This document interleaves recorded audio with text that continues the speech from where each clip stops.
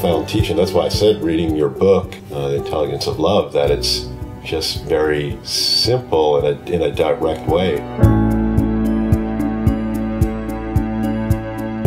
Come to the point where it's genuinely real to you in all of your living that you would rather be coming from your heart and completely settled in coming from your heart.